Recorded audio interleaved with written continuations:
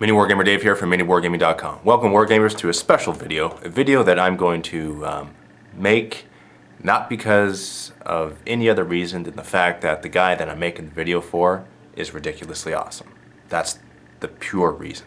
And it doesn't matter that he collects Tau, because you might think this is strange. Why the heck is Dave in a Tau video?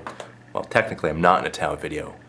Kraig is in a Tau video showing off his Tau army, 3,000 points of awesomeness, and he's going to go over different units that he has and their specialties and the ridiculousness that you can get when you get a Tau army.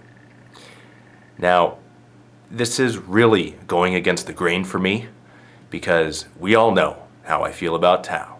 But I've also seen comments all over the site for people clamoring for some Tau love, and so I'm just going to have to do this.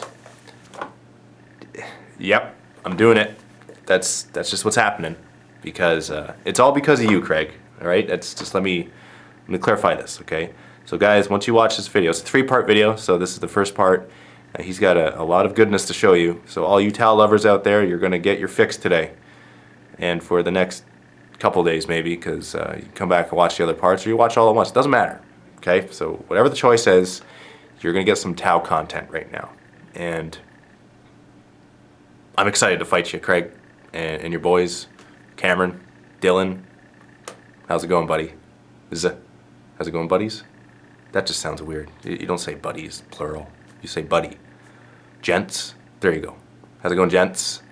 I'm excited to fight you.